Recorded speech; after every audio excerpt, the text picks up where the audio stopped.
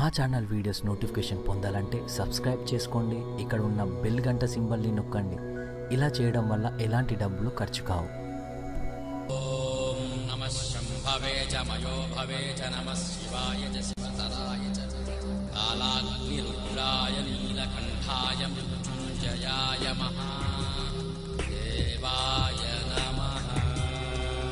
అలాగే అష్టమి కాలభైరవాష్టమి.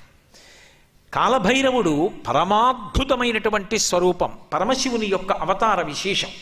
కాలభైరవుని యొక్క శాసనానికి స్వయంగా యమధర్మరాజు కూడా భయపడి ఆ శాసనాన్ని పాటిస్తాడు అని చెప్తారు.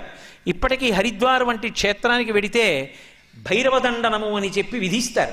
భైరవ మూర్తి దగ్గరికి వెళ్ళినప్పుడు ఒంగో పెట్టి కర్రతో ఒక్కసారి కొడతారు. ఎందుకని అంటే అసలు ఆయన పేరే భైరవ. భైరవ అన్న మాట ఎందుకు వచ్చిందంటే భై అని శబ్దం చేస్తాడు రవం. కాబట్టి భైరవ. ఆయన వాహనం శునకం కుక్క కుక్క భౌ అంటుంది కదా. జీవి శరీరాన్ని విడిచిపెట్టిన తరువాత చేసిన పాపాన్ని బట్టి కుక్క రూపంలో తరివితే కటిక చీకట్లో పరిగెడతాడు అని. భౌ నరుస్తూ భై అన్న రవంతో వెంటపడతాడు కాబట్టి భైరవ. అక్కడ పొందవలసిన దండనని ఇక్కడే దండన రూపంలో ఒంగో పెట్టి వీపు మీద కర్రతో ఆ చేత్తో పట్టుకున్న ఆ వెదురుతోటి ఓ చిన్న దెబ్బ కొట్టి వదిలేస్తారు. భైరవ దండనం ఇక్కడే విధించేశామని. అటువంటి భైరవుడు ఏదైనా ఇవ్వగలడు. అందుకే కాలభైరవాష్టకం పఠంతి ఏ మనోహరం జ్ఞానముక్తి సాధనం విచిత్ర పుణ్యవర్ధనం శోకమోహ దైన్యలోభ కోపతాపనాశనం తే ప్రయాంతి కాలభైరవగ్రి సన్నిధం ధ్రువం అంటారు. ఆ భైరవుడి యొక్క ఆరాధన అంత గొప్పది. ఎందరో భైరవులు ఉన్నారు ఒకటొక భైరవుడి దగ్గర నుంచి ఎంతమంది భైరవులు? అటువంటి భైరవుడి యొక్క ఆవిర్భావ దినంగా కాలభైరవాష్టమి అని చెప్పి శివాలయాల్లో ప్రతి చోట సాధారణంగా భైరవుడు క్షేత్రపాలకుడై ఉంటాడు. కాలభైరవుడికి పూజలు జరిగేటటువంటి తిథి ఈ కార్తీక మాసంలోనే వస్తుంది. అన్నిటినీ మించి మనిషిని ఎన్ని రకాలుగానో అనుగ్రహించేటటువంటి విశేషాలన్నీ ఈ కార్తీక మాసంలోనే జరుగుతాయి. ఎందుకనంటే కార్తీక పౌర్ణమి నాడు జ్వాలాతోరణం చేస్తారు శివాలయాల ముందు. జ్వాలాతోరణము అంటే ఇలా ఓ కర్ర ఇలా ఓ కర్ర కట్టి పైన ఒక కర్ర కడతారు. మీ అందరూ జ్వాలాతోరణం చూసిన వారే ఏదో నేను చెప్పాలని చెప్పడం తప్ప. దానికి ఆవిరి గడ్డి తీసుకొచ్చి కడతారు. దాని మీద నేయి పోసి వెలిగిస్తారు. వెలిగించి ఆ మంట అంటుకోవడం ప్రారంభం అవగానే పల్లకీలో పార్వతీ పరమేశ్వరుల యొక్క ఉత్సవమూర్తులను ఉంచుకొని ఆ మంట కింద నుంచి మూడు మార్లు వెళ్ళొచ్చేస్తారు. ఎందుకు అలా పెడతారు జ్వాలాతోరణం కింద నుంచి అంటే జీవి అనేకమైనటువంటి పాపములను చేసి శరీరం విడిచిపెట్టిన తరువాత పరిగెత్తి పరిగెత్తి పరిగెత్తి పరిగెత్తి పరిగెత్తి దాహంతో చిట్ట చివర ఆ యమసదనానికి వెళ్ళినప్పుడు మంటలతో ఉన్నటువంటి తోరణం కింద నుంచి లోపలికి వెడతాడు అని శాస్త్రవాక్కు శాస్త్రం కదా ప్రమాణం. నాకు నచ్చిందండి నచ్చలేదండి అని చెప్పడానికి కాదది. తస్మాత్ శాస్త్రం ప్రమాణంతే కార్యాకార్యం వ్యవస్థితవు నీ బుద్ధికి తోచినవన్నీ సత్యాలైతే భూమి తిరుగుతోంది. నీకు కనపడిందా? భూమి తిరుగుతున్నట్టు కనపడిందా? భూమి తిరుగుతున్నట్టు కనపట్టలేదుగా మరి భూమి తిరుగుతోందని ఎలా నమ్మావు?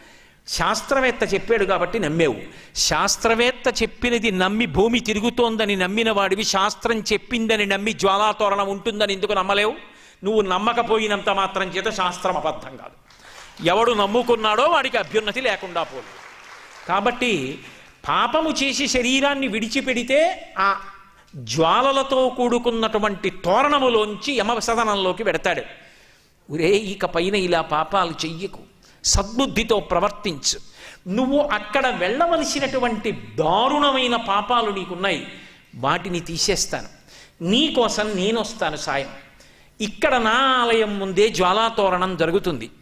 అక్కడ ఏ మంటల తోరణం కింద చిచ్చు తోరణం కింద నుంచి వెళ్ళాలో అక్కడ నేను నీకు సాయం వస్తాను. దా నేను ముందు పెడతాను నువ్వు నా వెంటరా ఇక్కడే జ్వాలాతోరణం కింద నుంచి వెళ్ళొచ్చావు కనుక ఇక అక్కడ వెళ్ళవలసిన అవసరం తీసేస్తాను. తీసేశాను కదా అని మళ్ళీ వచ్చే ఏడాది కూడా వద్దామని పాపాలు మొదలుపెట్టకు. బుద్ధి మార్చుకొని నేను ఇంత నీకు అనుగ్రహించాను కాబట్టి నా అనుగ్రహాన్ని గుర్తుపెట్టుకుని ప్రేమతో నేను చెప్పినట్టు బ్రతుకు ఇకపైన ఆ మార్పు తెచ్చుకుని జ్వాలాతోరణం కింద పరమశివుడితో కలిసి వెళ్ళొచ్చిన వాడు ఎవరుంటాడో వాడు యమసదనంలో చిచ్చు తోరణం కింద నుంచి వెళ్ళవలసిన అవసరం ఉండదు. అంటే ఈ కార్తీక మాసం మనిషి యొక్క అభ్యున్నతి కొరకు అన్ని అద్భుతమైనటువంటి విశేషాల్ని మనకి అనుగ్రహిస్తూ ఉంటుంది. అందులో మీరు జాగ్రత్తగా గమనించండి ఒక్క కార్తీక మాసం దగ్గరికి వచ్చేటప్పటికే మిగిలిన మాసముల కన్నా భిన్నంగా కుటుంబ వ్యవస్థని నిలబెట్టుకోవడం దగ్గర నుంచి అగ్ని ఆరాధనం దగ్గర నుంచి ఆ గోశాలకు వెళ్ళి గోవుల్ని పూజ చేయడం దగ్గర నుంచి దీపాలు పెట్టడం దగ్గర నుంచి సమస్తమైనటువంటి ప్రాణులకు అనుగ్రహాన్ని కల్పించడం వరకు అన్నీ కూడా ఏ మాసంలో జరుగుతాయంటే ఒక్క కార్తీక మాసం దగ్గరికి వచ్చేటప్పటికే జరుగుతాయి.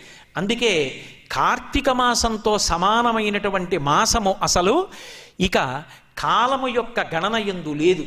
ఈ కార్తీక మాసాన్ని దుర్వినియోగం చేసుకోకూడదు. ఆకలి కొద్దిగా మందగింపుగా ఉంటుంది కాబట్టి నక్తవ్రతం చేయిస్తారు. నక్తవ్రతం అంటే రాత్రుళ్ళు ఎలాగో పొడవుగా ఉండి పగళ్ళు చాలా చిన్నవిగా ఉంటాయి కనుక పగటి పూట ఉపవాసం ఉండి రాత్రిపూట భోజనం చేస్తారు. అనేక రకాలుగా భగవంతుణ్ణి కీర్తించి మార్చి మార్చి ఇంద్రియములను భగవంతుని యొక్క సన్నిధానమునందు పెట్టడానికి ప్రయత్నం చేస్తారు. ఇన్ని రకాలుగా మనిషిని అనుగ్రహించేటటువంటి విశేషములన్నీ కూడా కార్తీక మాసంలో జరుగుతాయి. కార్తీక మాసం శివకేశవుల మధ్య ఏ భేదభావన పొందకుండా ఉండడానికి ఆలమాలమైనటువంటి మాసం. మనం తెల్లవారి లేస్తే ఒక మాట చెప్తాం. శివస్య హృదయం విష్ణు విష్ణోశ్చ హృదయం శివ. యథా శివమయో విష్ణురేవం విష్ణుమయ శివ. యథాంతరం నపశ్యామి తథామే స్వస్తిరాయుషి అంటాం. విష్ణువు యొక్క హృదయము శివుడు శివుని యొక్క హృదయము విష్ణువు ఆ శివకేశవుల మధ్య నేను ఎన్నడూ భేదభావమును పాటింపకుండెదనుగాక అలా పాటించనటువంటి లక్షణము చేతన ఆయుర్దాయము పెరుగుగాక అని కోరుకుంటాం. కార్తీక మాసం దగ్గరికి వచ్చేటప్పటికీ దామోదర స్వరూపంగా విష్ణు భగవానుణ్ణి కీర్తిస్తాం. త్రయంబక స్వరూపంగా పరమశివుణ్ణి ఆరాధిస్తాం. శివాలయాల్లో అభిషేకాలు అవి విశేషంగా జరుగుతాయి. విష్ణువాలయాల్లో విష్ణు సంబంధమైనటువంటి ఆరాధనలు తులసి అర్చనలు విష్ణు సహస్రనామ స్తోత్ర పారాయణలు విశేషంగా జరుగుతుంటాయి. దామోదరుడు అధిపతి. దామోదర శబ్దం ఎవరికి అన్వయం? అంటే దామ్నా ఉదరే మాత్రా బద్ధ ఇది దామోదర. ఎవరి యొక్క కడుపు మీద ఆ తులసిమాల ఉంటుందో ఎవరి యొక్క నడుము త్రాటి చేత కట్టబడిందో ఆయనని దామోదరుడు అంటారు. ఎప్పుడు కట్టబడ్డాడు? పరిపూర్ణావతారంగా వస్తే కట్టబడ్డాడు. పరిపూర్ణావతారం కృష్ణావతారం. ఎన్నో అవతారాలు తీసుకున్నాడు. అందులో ప్రధానమైనటువంటివి దశావతారాలు. వేదోద్ధారణ మందరాభరణ పృథ్వీధర్మ నిర్మాణ ప్రహ్లాదత్రాణ బలిప్రతారణ నృపాహంకార నిర్వాపణ వైదేహీ రమణ ధనంజయ జయ వ్యాపార పారీణ క్షోణీ దివ్యత్కరుణ తమోహరణ తండ్రి వెంకటేశ ప్రభో అంటారు. పది అవతారాలు ఆయనవే. పది అవతారాలు ఆయనవే అయినా అన్ని అవతారముల యొక్క తేజస్సు ఏ అవతారంలోకి వెళ్ళిపోతుందో దాన్ని పరిపూర్ణ అవతారం అంటారు. అటువంటి పరిపూర్ణ అవతారం శ్రీకృష్ణ అవతారం. అటువంటి శ్రీకృష్ణ అవతారంలో ఆయన చేసినటువంటి లీలలు అనన్య సామాన్యములు. కల్నులు తెరువని కడుచిన్ని పాపడై దానవి చనుబాలు త్రావి చంపే. మూడవ నెల నాడు ముద్దుల కుర్రడై కోపించి శకటమ్ము కులద్రోసే.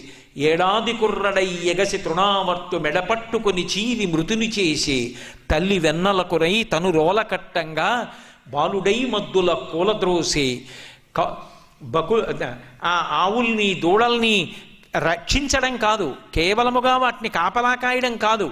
ఆయన అసలు ఇంకా కనురెప్పలు కూడా సరిగ్గా తెరవడం చేత కానటువంటి పసిపిల్లవాడిగా ఉండగానే పూతనా సంహారం ప్రారంభం చేశాడు. అంత గొప్ప అవతారం కృష్ణావతారం.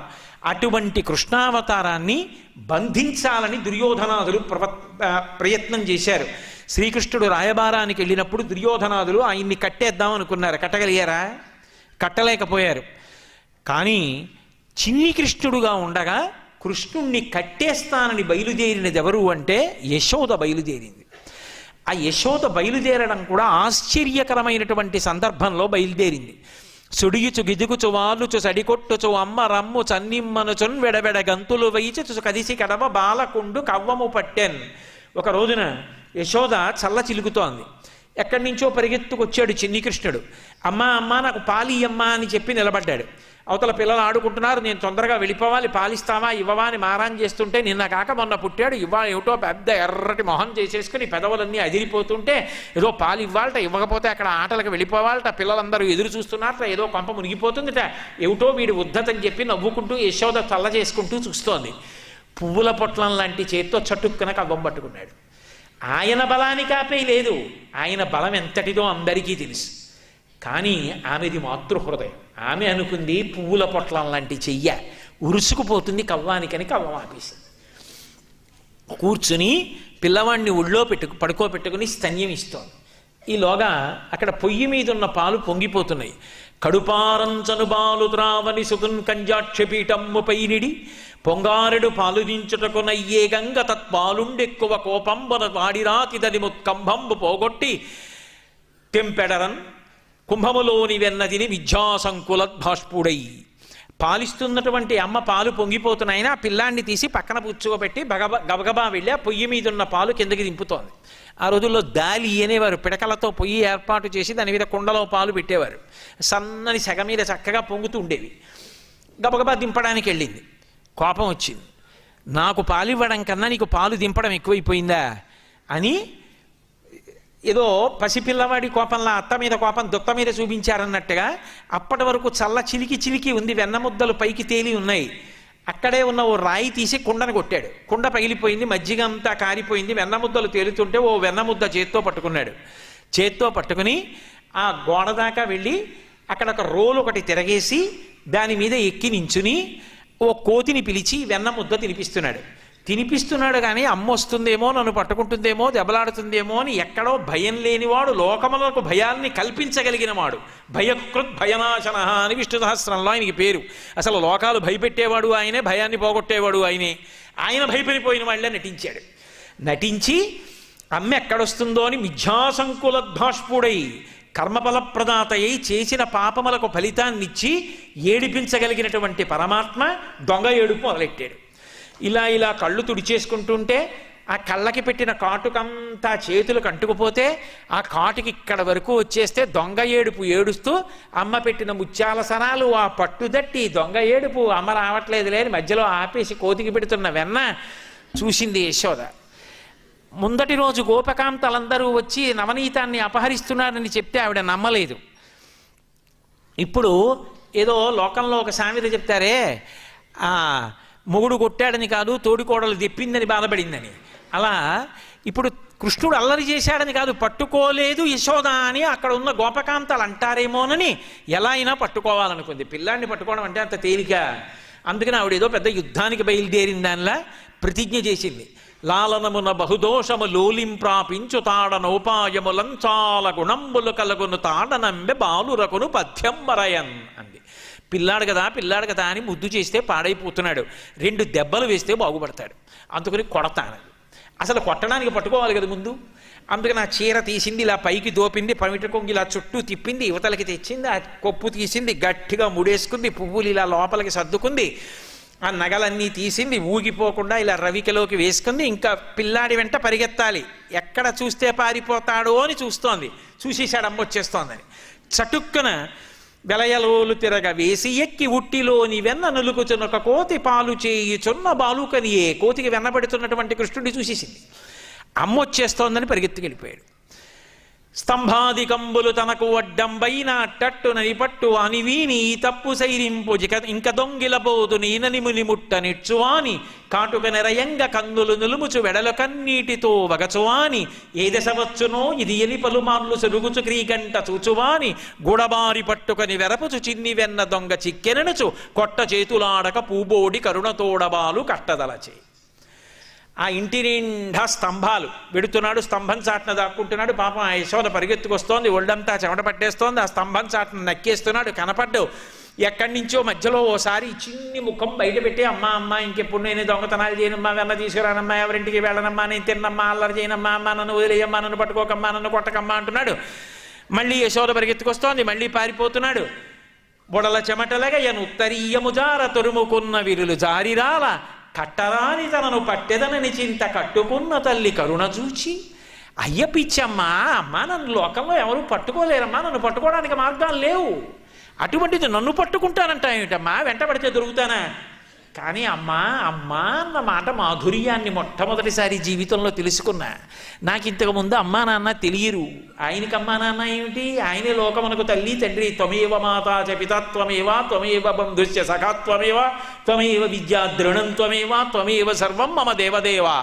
అటువంటి వాడు ఏ పాములెరుగక ఏ పారుమేటికి పశుల కాపరి ఇంట పాముకరియే ఏ కర్మయుని లేక వెలయినొక్కడికి ని జాతకర్మంబులు సంభవించే ఏ తల్లి చనుబాలు ఎన్నరెడుగని ప్రోఢ తల్లి యశోద చందుల పాలు త్రావనిరిగే ఏ హాని వృద్ధుల నెరుగని బ్రహ్మంబు పొదివిటిలో నుద్ది పొందనుందే. ఇంతకుముందు అమ్మ ప్రేమ పాలు తెలియనివాడు మొట్టమొదటిసారి యశోద చందుల పాలు తాగాడు కదూ? అమ్మ అన్న మాటకున్న మాధుర్యం తెలుసుకున్నాడు.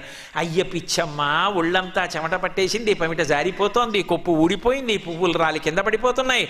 అయినా నన్ను పట్టుకోవాలని పాపం వస్తోంది ఇంత ఆయాసపడిపోతోంది పిచ్చమ్మని నేను ఇంకా బా- బాధ పెట్టలేనని అమ్మకి దొరికిపోయాడు. దొరికిపోతే గూడ పట్టుకుంది. అదృష్టం కొడదామనుకున్నది కొట్టలేకపోయింది. ఆయన యొక్క సౌందర్యాన్ని చూసింది భగవంతుని యొక్క సౌందర్యం అలా అంటే అలా ఉంటుంది. సంపేద్దామని వచ్చింది పోతాను ఇంకా ఇవిడ కొడదామనుకుంది అమ్మ ప్రేమతో. సిరిమమ్మం వ్రతకంగ చూచటుకొనై శృంగార వేషంబుతో నరుదేనోపునటంచు గోపికలు జిహ్వల్రాక మోహించి అని పోతన గారు దశమస్కంధంలో చెప్పినట్టుగా గోపికలంతటి వాళ్ళు లక్ష్మీదేవి వస్తోందేమో అనుకున్నారు పూతన వస్తుంటే. ఆ పిల్లవాడి దగ్గరికి వెళ్ళి ఎత్తి దగ్గర పెట్టుకుని నాచనుబా లొకగుక్కెడు ఓ చిన్ని కుమార త్రావు మొయ్యన పెదపన్ నీ చెలువ మెరుగవచ్చును నా చెలువము సఫలమగును నిన్నదలక్ష అంది. కసిని పాలు తాగరా అబ్బాయి చంపేస్తాను నిన్నప్పుడు తెలుస్తుంది నీ వికారం ఏమిటో అనుకుంది కానీ ఆ చిన్ని కృష్ణుడి అందం చూసి పూతన కూడా పొంగిపోయింది. అటువంటిది కన్న తల్లి యశోద పొంగిపోతూ ఆ ఏడుస్తున్నాడు అమ్మ నన్ను వదిలేయమ్మ అమ్మ నన్ను వదిలేయమ్మ ఇంకా దొంగతనాలకు వెళ్ళనమ్మా చూసింది. నిన్ను కొట్టను కానీ ఒరే కట్టేస్తాను రా ఎందుకని? అక్కడ అందరూ చూస్తున్నారు గొప్పకాంతలు తన గొప్ప కదూ? ఏ ఏరా ఎవరికి దొరకవుట నిన్ను వాళ్ళు ఎవరు పట్టుకోలేకపోయారట?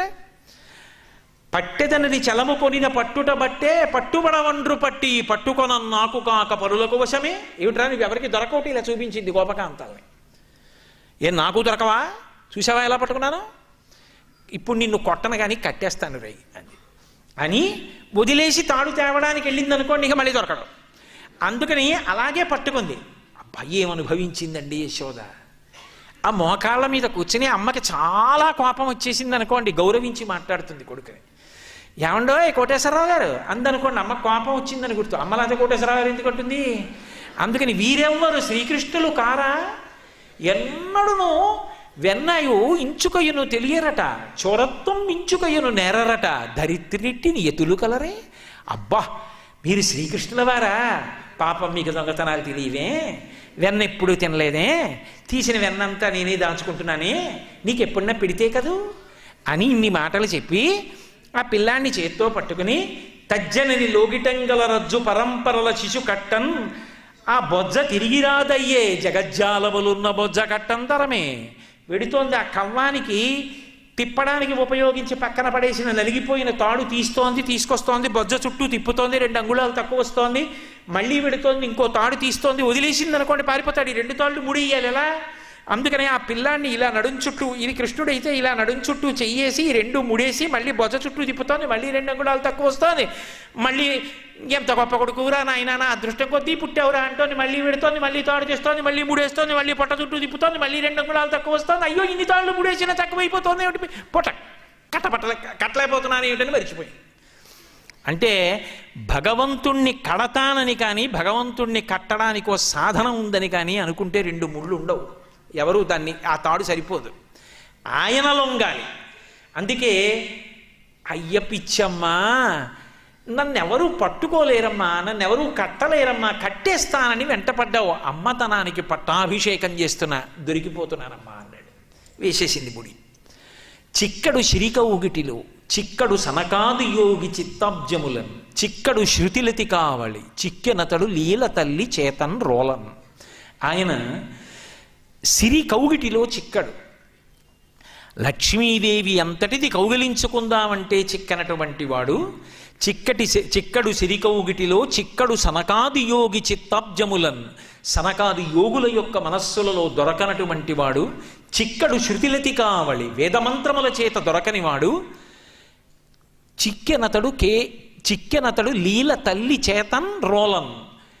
అమాయకురాలైనటువంటి ఒక గోపిక చేతికి దొరికిపోయాడు అమ్మతనానికి పట్టుకెళ్ళి రోలుకేసి కట్టేసి మత్సలేని పరమాత్మ భక్తికి పట్టాభిషేకం చేయడానికి ఆ రోలుని ఈడుస్తూ పాకడంలో ఆ తాడు గట్టిగా ఒరుసుకుని దామ్నా ఉదరే మాత్రాబద్ధ ఇది దామోదర. ఆ తాడు నడువుకి ఒరుసుకుపోతే నడుం చుట్టూ నల్లగా మచ్చపడింది అలా మచ్చపడితే మచ్చ కలిగిన వాడు కాబట్టి దామోదరుడు అయ్యాడు అంటే భక్తికి లొంగిపోతాను. మౌనులచే జ్ఞానులచే యోగులచే దాన సంవిధానులచే తన్ పూని నిబద్ధుండగునే పురుషోత్తముడు భక్తియుతుల చేతన్ బోలన్ భక్తుల చేతికి చిక్కినట్టుగా మౌనులకు జ్ఞానులకు యోగులకు దానం చేసేటటువంటి వాళ్ళకి కూడా ఆయన లొంగడు సుమ అని చెప్పడానికి ఒకనాడు ఒక ఆజ్ఞురాలైనటువంటి గోపిక చీతికి దొరికిపోయాడు. అలా తాటి చేత కట్టబడి నడుం చుట్టూ ఉరుసుకుపోయినటువంటి వాడున్నాడే ఆయన దామోదరుడు. అంటే భక్తికి లొంగిపోతాడు. ఒక దీపం పెడితేనే అంత శక్తినిస్తాడా అండి? తులసి దగ్గరికి వెళ్ళి గోవిందా అంటే అంత అనుగ్రహించేస్తాడా అండి? కార్తీక మాసంలో ఉసిరి చెట్టు దగ్గరికి వెళ్ళి శ్లోకం చెప్తే అలా అనుగ్రహం వస్తుందా అండి? అంటామేమో నీ గుండెలలో భక్తి ఉండాలి కానీ తాటి చేత కట్టబడి మత్సలేని వాడు మత్స పొందినటువంటి దామోదరుడు అధిపతిగా ఉన్నటువంటి మాసం కార్తీక మాసం. ఆయనకి నీ గుండెలలో భక్తిని చూసి అనుగ్రహించడం అలవాటు. అందుకే ఆ యోగ నిద్ర చాలించి ఈ కార్తీక మాసంలో నిద్రలేస్తాడు నీ గుండెలలో భక్తి ఉండాలి తప్ప ఆయన నీ వెంట పరిగెడతాడు. పరవశించిపోతాడు. అందుకే దామోదరుడు అధిపతి అయ్యాడు. అలాగే త్రయంబకుడు. పరమశివుడంతే మహానుభావుడు మత్సలేనివాడు. మత్స తెచ్చుకున్నాడు. ఆయనకి నిజంగా మత్స అవసరమా? స్ఫటికమణి నిభం అంటారు. తెల్లగా స్ఫటికమణి ఎలా ఉంటుందో అలా మెరిసిపోతూ ఉంటాడు పరమాత్మ. అటువంటి పరమశివుడు కంఠ నల్లగా ఉండేటట్టుగా మత్స తెచ్చుకున్నాడు. లోకంలో చాలా అందంగా చాలా తెల్లగా ఉన్నాడు అనుకోండి ఎవరైనా. ఆయనకు ఒక చిన్న మచ్చ వచ్చిందనుకోండి ఏ కురిపో వేసి అది అందరికీ కనపడే చోట ఏ కంఠం మీదో బొగ్గ మీదో వచ్చిందనుకోండి అది ఎలా పోతుందా అని ఆలోచించుకుంటాడు. అందానికి అడ్డం వస్తుందని. కానీ వాళ్ళు ఘృతరీతి ఘనీభూతం సచ్చిదానంద విగ్రహం అన్నాడు వ్యాసుడు. అప్రాకృత శరీరం తం అతిమన్మధరూపిణం ఘృతరీతి ఘనీభూతం సచ్చిదానంద విగ్రహం అన్నాడు. అది అప్రాకృత శరీరం. నీతి ముద్దలా ఉంటుంది. అంత అందమైనటువంటి శరీరం ఉన్నటువంటి వాడు. పైగా ఆయన నడిచి వెడుతుంటే సూర్యేణ చిత్రితం మూర్ధ్ని చంద్రదండ విరాజితం. గంగా చ యమునా చైవ విధర్తు స్మరుచామరి అని శివమహాపురాణంలో వర్ణించారు. గంగా యమున ఆయనకి చామరం వేస్తుంటే సూర్యుడు చంద్రుడు ఆయనకి గొడుగు పట్టి తీసుకెడుతుంటారు. అంతటి అందగాడు అంతటి పరమాత్మ పరమశివుడు లోకాల కోసమని తన కంఠానికి నల్లటి మచ్చ తెచ్చుకున్నాడు. ఎప్పుడు తెచ్చుకున్నాడు? ఒకనాడు పాల సముద్రాన్ని అమృతం కోసం చిలికితే ఆ పాలవెల్లి లోపల అప్పటికప్పటికి మంద రాగము తిరుగన్ చప్పుడు నిండిన జండము చెప్పిడిదే మధుని చెవులు చిందరబనియన్. ఆలోల జలధి లోపల నాలో నహి విడిచి అసుర సురల అసురుల బలపన్ గీలా కోలాహలమున హాలాహల విషము పుట్టె నవనీనాథ. ఆ హాలాహలం వచ్చి లోకాలన్నింటినీ కాల్చేస్తుంటే అందరూ కైలాసానికి వెళ్ళి మొరబెట్టుకుంటే చని కైలాసముజొచ్చి శంకరు నివాస ద్వారముంజేరి ఈశుని దవ్వారికు లడ్డు పడ్డ తలమంచుంజొచ్చి కుయ్యో మొర్రో విను మాలింపము చిత్తగింపు దయన్ వీక్షింపుమన్ సంభుజానన ముఖ్యుల్కని రక్తరక్షణ కళా సంరంభునిన్ శుభునిన్. ఆర్తరక్షణ కళా సంరంభుడైనటువంటి పరమశివుడి దగ్గరికి వెళ్ళి అయ్యా హాలాహలం పుచ్చేసుకోమన్నారు అది ఎవరిని పుచ్చుకుంటే వాళ్ళు చచ్చిపోతారు. ఆయన పుచ్చుకోగలడా? పార్వతీదేవి దగ్గరికి వెళ్ళి చెప్పాడు. చూశావా పార్వతి? లోకాలన్నీ కూడా ఎంత బాధపడిపోతున్నాయో చూశావా? హరిమది ఆనందించిన హరినక్షి జగంబులెల్లయ ఆనందించున్ హరియును జగములు వెచ్చక గరళము వారించుటొప్పు కమలదలాక్షి. మీ అన్నగారు స్థితికారుడు. విష్ణువు సంతోషించేటట్టుగా ఆ హలాహలం నేను పుచ్చేసుకోనా? అన్నాడు. అది ఏమైనా పటికి బెల్లమా నోట్లో వేసుకోవడానికి? ఆవిడికి మాత్రం ఐదోతనం మీద కోరిక ఉండదు. ఆవిడ చూసి మీ ఇష్టం పుచ్చుకోండి అక్కడ వరకు విని భాగవతం పరీక్షిత్ అంతటి వాడు గుండెలు బాదుకుని అడిగాడు సుఖబ్రహ్మని అయ్యయ్యో అదేమిటండి? ఎంత తాగుబోతు భర్త అయినా ఉండాలి పసుపు కుంకాలతో అని కోరుకుంటుంది కదా ఇల్లాలు. అంత తప్పు పని చేసేటటువంటి భర్తని కూడా పూజిస్తారే అంత గౌరవిస్తారే అటువంటిది నిత్యాయ త్రిగుణాత్మనే పొరచితే కాత్యాయని శ్రేయసే సత్య సత్ అని శంకర భగవత్పాదులంతటి వారు కీర్తించారు కదా సత్యాయ ఆద్య కుటుంబిని ముని మన ప్రత్యక్ష చిన్మూర్తయే. ఆది కుటుంబం కదా. అటువంటి శంకరుడు హాలాహలం పుచ్చుకుంటానంటే పార్వతీదేవి ఒప్పుకుందా? ఎలా ఒప్పుకుంది? అంటే మింగెడిది హాలాహలమని మింగిడి మి- మింగెడిది విభుండని. ఎరిగియు మింగమని సర్వమంగళ మంగళసూత్రమ్మునెంతమది నమ్మినదో. తన మంగళసూత్రం మీద ఆవిడకున్న నమ్మకం. నా మెడలో మంగళసూత్రం ఉండగా మీరు విషం పుచ్చుకుంటే మాత్రమే అవుతుందని తాగమందంతే లోకం కోసం. అప్పుడు అందరూ హాలాహలాన్ని చూసి భయపడుతుంటే ఒక్క శంకరుడు మాత్రం మహానుభావుడు గబగబా బయలుదేరి తన చుట్టూంచర సంఘముల్ జయ జయధ్వానంబులన్ బొబ్బిడం ఘనగంభీరరమంబుతో శివుడు లోకద్రోహి హుంపోకురమ్మని కింగేలత మల్చి కూర్చి కడిగా నంకించి జంబూపలంబన సర్వంకషము మహావిషము నాహారించి హెలాగతిన్ కదలంబారవు పాప పేరు వడలన్ గర్మాంబుజాలంబు పుట్టదు నేత్రంబులు నెర్రబారవు నిజ జూటాచంద్రుడున్ కందడున్ వదనాంభోజము వాడదా విషమును ఆహ్వానించుచో డాయిచో పదిలంబై కడిచేయిచో దిగుచుచో భక్షించుచో మృంగుచోన్. ఎదురెళ్ళి ఆ హాలాహలాన్ని చేత్తో పట్టుకున్నప్పుడు కానీ ముద్ద చేసినప్పుడు కానీ నోట్లో పెట్టుకున్నప్పుడు కానీ చల్లని చందమామ వేడిక్కి పోలేదు ఓ పిల్లపాము కూడా జారి కింద పడిపోలేదు వేడిక్కి ఒంటి మీద పొక్కెక్కలేదు హాలాహలాన్ని తీసి నోట్లో పెట్టుకున్నాడు. ఉదరము లోపం లోకంబులకును సదనంబకు తెరిగి శివుడు చటుల విషాగ్నిన్ కుదురుకొనే కంఠబిలమున పదిలంబుగా నిలిపి సూక్ష్మ ఫలరసము క్రియన్ మింగేస్తే కడుపులో ఉన్న లోకాలు పోతాయి బయటికి వదిలేస్తే పై లోకాలు పోతాయని మింగకుండా బయటికి వదలకుండా కంఠంలో పెట్టుకుని ఉంచుకున్నాడు. నిజంగా మింగకుండా వదలకుండా కంఠంలో పెట్టుకోవడం ఎంత కష్టం? హాలాహలాన్ని కంఠంలో పెట్టుకున్నందుకు మత్సలేని శంకరుడి యొక్క కంఠం నల్లబడి గలలకంఠుడు శ్రీకంఠుడయ్యాడు. లోకం కోసం నిందబడి మత్స పొందినటువంటి వాళ్ళు మహాత్ములవుతారు తప్ప వచ్చినది వాళ్ళకి మత్స కాదు అని నిరూపించాడు శంకరుడు. అందుకే మత్స పొంది దామోదరుడయ్యారు శ్రీ మహావిష్ణువు. మత్స పొంది శ్రీకంఠుడయ్యాడు పరమశివుడు. కానీ ఆ మత్సలు వాళ్ళ జీవితానికి తెచ్చినటువంటి అపనిందలు కావు. వాళ్ళ జీవితాలు లోకం కోసం ఎంతగా ఉపయోగపడ్డాయో తెలియ చెప్పినటువంటి సాక్ష్యాలు. అందుకే ఆ శివుడు ఆ కేశవుడు ఇద్దరు కాదు ఉన్నది ఒక్క పదార్థం ఒకనాడు శివుడిగా ఒకనాడు శ- విష్ణువుగా కనపడుతుంది. కాబట్టి ఎవ్వడు సృజించు ప్రాణుల ఎవ్వడు రక్షించు త్రుంచు ఎవ్వడు అనంతుండెవ్వడు విభుడెవ్వడు వాడి విధమన మనుచు వెనుచు హేలారతుడై ఆ ఒక్కడే సృష్టి చేస్తున్నాడు స్థితి చేస్తున్నాడు ప్రళయం చేస్తున్నాడు. ఆ ఉన్న ఒక్క పదార్థమే ఇన్ని చేస్తోంది. దాన్ని నేను శివ అని అభిషేకం చేస్తాను. దాన్నే నేను హే కేశవ అని పరమప్రీతితో ఆరాధన చేస్తాను తులసితోటి. అక్కడైతే వామదేవ ఇక్కడైతే వాసుదేవ ఒక్క అక్షరం తేడా. అక్కడైతే తులసి దళం ఇక్కడైతే మారేడు దళం అంతే తేడా. తప్ప తత్వత మాత్రం రెండు ఒక్కటే. ఇది నిరూపించేటటువంటి మాసం కార్తీక మాసం. అందుకే కార్తీక మాసంలో ఇక్కడ అక్కడ అని భేదం ఉండదు. శివాలయంలో కానీ విష్ణువాలయంలో కానీ అంబికాలయంలో కానీ గోశాలలో కానీ మఠ ప్రాంగణంలో కానీ ఎక్కడైనా సరే దీపాన్ని వెలిగించి లోకాన్నంతటినీ కూడా అనుగ్రహింప చేయడానికి తాను తరించడానికి మార్గాన్ని సుగమం చేసుకుంటారు. కార్తీక మాసంలో ఎన్నో దానాలు చేస్తూ ఉంటారు.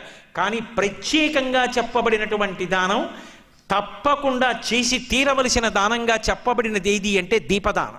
అందున ప్రత్యేకించి ఈ కృష్ణపక్షంలో వచ్చేటటువంటి త్రయోదశి తిథి ఏది ఉందో ఆ త్రయోదశి తిథి దీపదానం చెయ్యడానికి అత్యంత ప్రధానమైనటువంటి తిథిగా కీర్తింపబడింది. ఇవాళ సప్తమి. ఈ సప్తమి నాడు కార్తీక వైభవాన్ని విన్న శివకేశవుల యొక్క వైభవాన్ని విన్న కార్తీక మాసం యొక్క మహాత్మ్యం గురించి తెలుసుకున్న తత్కారణం చేత అనుకూల దాంపత్యం సిద్ధిస్తుంది అని చెప్తారు. ఇన్ని రకాలుగా కార్తీక మాసం ఎంతో గొప్పది. బాహ్యంలో దీపదానం చాలా గొప్పదైనా తప్పకుండా చేయవలసిన దానం ఏది అంటే అన్నదానం.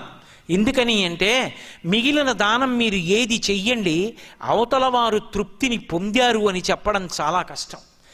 పదివేల రూపాయలు పట్టుకెళ్ళి నేను ఒకరికి ఇచ్చాననుకోండి ఆయన మహాత్ముడు సంతోషం పొందొచ్చు. అందరూ పొందరని నేను అంటలేదు. కానీ పదివేల రూపాయలే ఇచ్చారే ఇంకొక పదివేల రూపాయలు ఉంటే నా ఫలానా అవసరం తీరినే అనొచ్చు లేదా పదివేల రూపాయలు వచ్చిన కారణం చేత ఇరవై వేల రూపాయల కోరిక కొత్తది మనసులో పుట్టచ్చు. కాబట్టి తృప్తి పొందుతారు అని చెప్పడం సాధ్యం కాదు. బంగారం ఎంత ఇస్తే తృప్తి పొందుతారు? వ్యాప్తిం పొందక వగవక ప్రాప్తంబగు లేశమైన పదివేలను చున్ తృప్తించెందని మనుజుడు సప్తద్వీపములనైన చక్కంబడునే అంటాడు వామనమూర్తి. ఆ వామనమూర్తి ఘట్టంలో ఆ బలిచక్రవర్తి ఆ ఆ ఘట్టంలో వామనమూర్తి అంటాడు బలిచక్రవర్తితో. అసలు తృప్తి అనేది లోపల ఉండాలి లేనప్పుడు సప్తద్వీపాలు పట్టుకొచ్చి ఇచ్చేసినా కూడా ఇంకా నాకేదో ఇవ్వలేదంటాడు తప్ప నాకు ఇచ్చాడని తృప్తి పొందుతాడా? తృప్తి లోపల ఉండాలి మీరు బంగారం ఇవ్వండి తృప్తి పొందుతారని చెప్పడం కష్టం. భూములు ఇవ్వండి తృప్తి పొందుతారని చెప్పడం కష్టం. ధనం ఇవ్వండి వస్త్రాలు ఇవ్వండి తృప్తి పొందారని చెప్పడం కష్టం. కానీ దేని చేత తృప్తి తెలుస్తుంది మీకు అంటే అన్నదానమునందు తెలుస్తుంది. పైగా అర్హతని ఆలోచించడానికి దానికి పెద్ద శాస్త్ర పరిజ్ఞానం అక్కర్లేదు. ఈయనకి ఇది ఇవ్వచ్చా ఇవ్వకూడదా అని ఆలోచించడానికి పెద్ద శాస్త్రంతో పని లేదు. ఆయన ఆకలితో ఉన్నాడా? అదొక్కటే. ఆ ఆకలిగొన్న వేళ అతన్ని తీసుకొచ్చి కూర్చోపెట్టి అన్నం పెట్టారనుకోండి ఆయన కడుపు నిండా అన్నం తిని బ్రేవ్ మనొక్క త్రేణుపు తేంచాడనుకోండి పూజామందిరంలో ఉన్నటువంటి భగవన్మూర్తులన్నీ సంతోషిస్తాయిట ఆయన వెళ్ళిపోతూ వెళ్ళిపోతూ కాళ్ళు కడుక్కుని వెళ్ళిపోయాడు అనుకోండి ఒక్క అతిథి ఇంటికి వచ్చినవాడు అతిథి కిల పూర్హ పూజార్హ ప్రకృతోపి విజానత అంటారు సుందరకాండలో. ఏమీ తెలియనటువంటి అతిథి వచ్చి కాళ్ళు కడిగి వెడితేనే అంత గొప్ప. ఇక భగవంతుణ్ణి నమ్ముకున్నవాడు వచ్చి కాళ్ళు కడిగితే అన్నం తిన్న తర్వాత కాళ్ళు కడుక్కుని వెళ్ళాలి.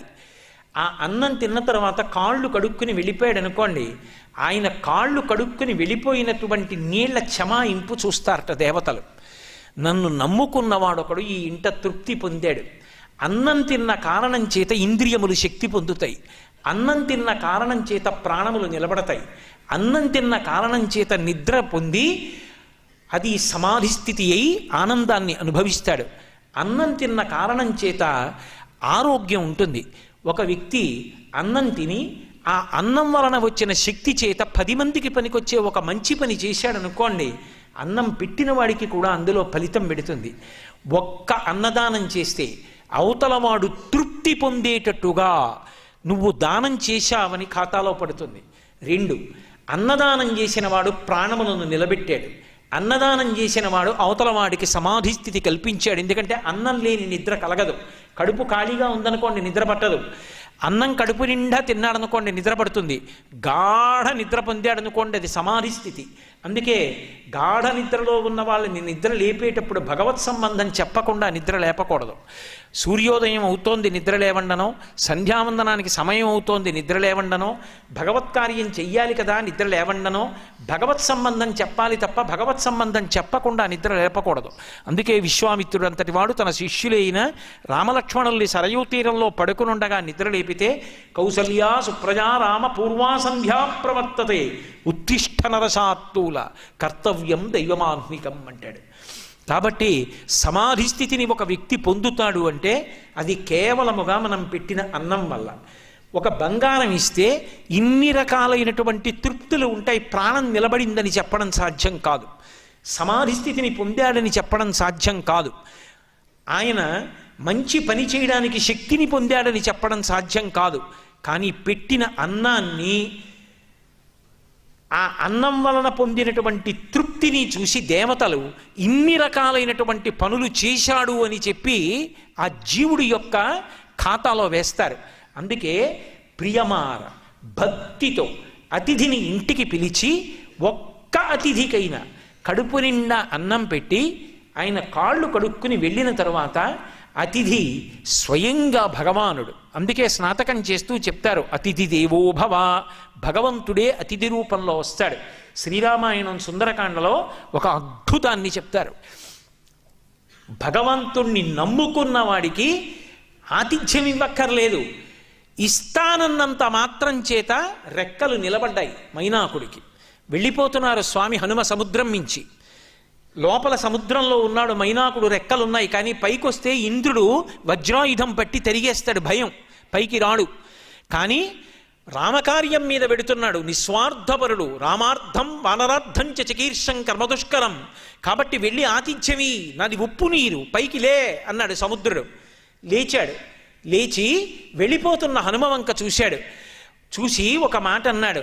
మహానుభావ సామాన్యుడు అతిథిగా వస్తేనే గొప్ప నీ వంటి పూజ్యుడు అతిథిగా వస్తే అంతకన్నా అదృష్టం ఉంటుందా? కాబట్టి నిపత్యమవసృంగేషు విశ్రమస్వ యథాసుఖం ఒక్కసారి నా పర్వత శిఖరముల మీద వాలు.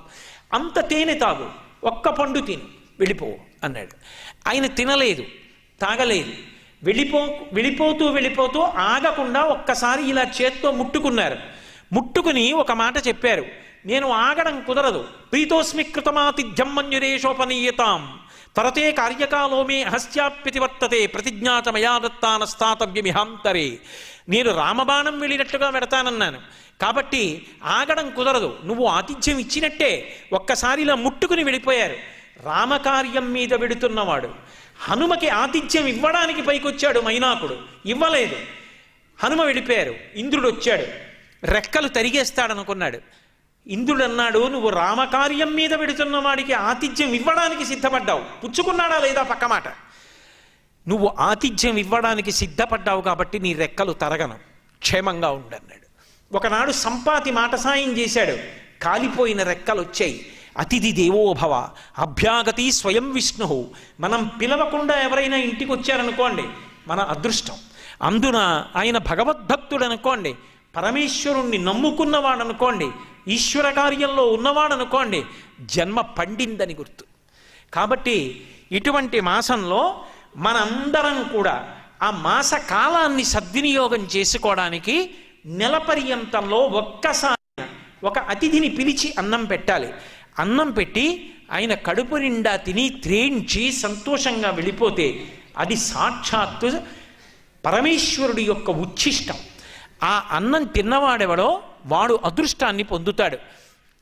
అందుకే మిగిలిన దానములన్నీ చెయ్యగలిగితే చెయ్యవచ్చు చేసినా చేయలేకపోయినా కనీసం మనకున్న దాంట్లో ఎవరో ఒక అతిథికి పెట్టడం అనేటటువంటిది ఈ మాసంలో కాలాన్ని సద్వినియోగం చేసుకుని భగవంతుని యొక్క అనుగ్రహాన్ని పొందడానికి అత్యంత ఉపయుక్తమైనటువంటి విశేషం. కాబట్టి కేవలం ఈ మాసంలో ఒక్క గోశాలకి వెళ్ళి తరించవచ్చు. ఓ తులసి బృందావనంలోకి ఓ తులసి చెట్టు దగ్గరికి ఓ ఉసిరి చెట్టు దగ్గరికి ఒక దీపం పెట్టి దేవాలయంలో ఆకాశ దీపం వెలిగించడానికి ఒక నెలలో ఒక్క రోజుకి నేను వ్యయం భరిస్తానని ఒక్క తులసిదళాన్ని వేసి భగవన్ నామం చెప్పి భగవత్ కథా శ్రవణం చేసి భగవత్ సంబంధమైన విషయాన్ని పఠనం చేసి ఏ రకంగానైనా సరే అభ్యున్నతిని పొందడానికి అన్ని రకాలుగా బాహ్యంలో ఆంతరమనందు ఆనుకూల్యతతో కూడుకున్నటువంటి ఋతువుతో కూడుకున్న కాలం ఏది అంటే ఈ శరదృతువులో వచ్చేటటువంటి కార్తీక మాసం. అందుకే చాంద్రమానంలో ఎనిమిదవ నెలగా వచ్చేటటువంటి కార్తీక మాసంతో సమానమైనటువంటి నెల. ఇక మిగిలిన నెలలలో ఏదీ లేదు అంటారు. చాలామంది పెద్దలు కార్తీక మాసంలో ఒక్క క్షణాన్ని కూడా దుర్వినియోగం చేసుకోకుండా ఈ మాసం అంతటా కూడా నక్తవ్రతాన్ని పాటిస్తూ మనుష్య జన్మలోకి వచ్చాం కాబట్టి శ్రద్ధతో శాస్త్రాన్ని గురువాక్యాన్ని ఆలంబనంగా తీసుకుని సద్వినియోగం చేసుకుని తరించడానికి ఈ కాలాన్ని సద్వినియోగం చేసుకుంటారు. మనందరం కూడా కార్తీక మాసాన్ని అన్ని విధాలా సద్వినియోగం చేసుకోవడానికి కావలసినటువంటి ఆ బుద్ధి ప్రచోదనాన్ని పరమేశ్వరుడు మనకిచ్చి చక్కగా భగవదారాధనలో సమాజమునందు ఈశ్వరుణ్ణి చూస్తూ సమాజాన్ని ఆరాధించడంలో మనం కృతకృత్యులమై ఆ పరమాత్మ యొక్క అనుగ్రహానికి పాత్రులమై ఏ విధమైనటువంటి ఉపద్రవములు లేకుండా అందరూ సంతోషంగా బ్రతకగలిగినటువంటి స్థితి కలగడానికి కావలసినటువంటి అధ్యవసాయముతో కూడుకున్నటువంటి బుద్ధితో కూడిన కర్మాచరణము చేత మిగిలిన వారికి మార్గదర్శనం చేస్తూ మనం తరించడానికి కావలసినటువంటి కర్మానుష్ఠానము చేసదముగాక అని సంకల్పం చేసుకుంటూ భగవంతుడు దానికి అన్ని విధాలుగా మనకి అనుగ్రహాన్ని కటాక్షించాలి అని చెప్పి ఆయన పాదాల విందములకు సాంజలి బంధకంగా నమస్కరిస్తూ మీ అందరూ కూడా ఇంతసేపు కార్తీక వైభవాన్ని యథార్థానికి కార్తీక మాసంలో శుక్లపక్షం వెళ్ళిపోయి కృష్ణపక్షంలో సప్తమి తిథి వచ్చేసింది. అయినా తెలుసుకుని ఒక్క క్షణమైనా దాన్ని సద్వినియోగం చేసుకోవాలని ఇంత పూనికతో దేశకాలముల యొక్క విలువ తెలుసుకోవడానికి కూర్చున్న మీ అందరి యొక్క శ్రద్ధాభక్తులకు నేను హృదయపూర్వకమైనటువంటి నా కృతజ్ఞతలను ఆవిష్కరిస్తూ మంగళాశాసన పరై పదాచార్య పురోగమై సర్వైశ్చ పూర్వైరాచార్యై సత్కృతాయాస్తు మంగళం. మంగళం కోసలేంద్రాయ మహనీయ గుణాత్మనే చక్రవర్తి తనూజాయ సర్వభౌమాయ మంగళం. ఉమాకాంతాయ కాంతాయ కామితార్థప్రదాయిని శ్రీగిరీశాయ దేవాయ బలినాథాయ మంగళం సర్వం శ్రీ ఉమామహేశ్వర పరబ్రహ్మార్పణమస్తు స్వస్తి అద్భుతమైనటువంటి